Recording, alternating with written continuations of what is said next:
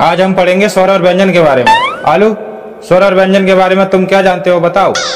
Master साहब जो मुँह से बाहर आता है उसे स्वर कहते हैं। शाबाश और व्यंजन किसे कहते हैं? मास्टर साहब जो मुँह के अंदर जाता है उसे व्यंजन कहते हैं जैसे पानी पूरी अगला गए हो का आलू क्या उल्टा सीधा जवाब दे रहे हो?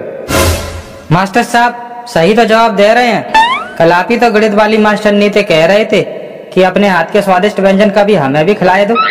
आलू तुम बहुत शैतान हो गए हो। कल अपने मम्मी और पापा को स्कूल में लेके आना अन्यथा स्कूल में आने की ज़रूरत नहीं है। ठीक है मास्टर साहब। आ गया मेरा राजा बेटा। मैं तेरा ही इंतज़ार कर रही थी। जा दादी और पापा क्या काना फूसी कर रहा है सुनकर आ जा। मम्मी मेरी बात तो सुन लो। तेरी बात मैं सुनूँगी। पहले मेरा काम कर जा। ठीक है मम्मी। मम्मी हमारे पेट में बहुत दर्द हो रहा है। कोई देसी नुस्खा हो तो बताए दे। बेटा बाज़ार से अजवाइन ले आओ। उसका पानी उबाल के पी लो तो ठीक हो जाओगे। ठीक है मम्मी। पापा पापा कहाँ जा रहे हो?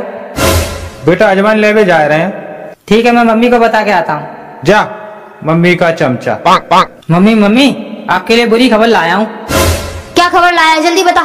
पाक। मम्मी मम्मी पापा के पेट में दर्द दे रहा है और दादी बता रही थी कि आज वाइन पी लो।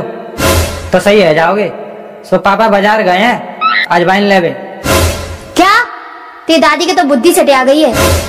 और आने दे तेरे बाप को। उसकी तो खबर लेती हूँ अच्छे से।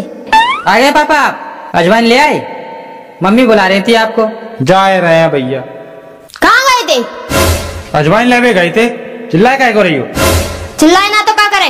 तुम्हें हमें घुमावे को शॉपिंग करावे को कछु खवावे को पैसा तो हतना है। और फालतू खर्चा करवे को पैसा है तुम्हारे पास? हमने कौन सा फालतू खर्चा कर दो है भैया?